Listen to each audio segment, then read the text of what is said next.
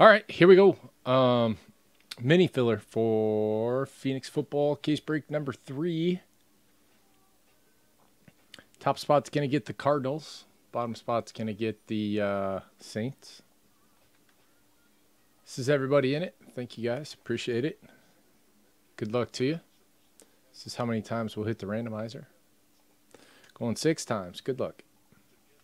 One, two, three, four, five, and six and final. There it is DHB on top.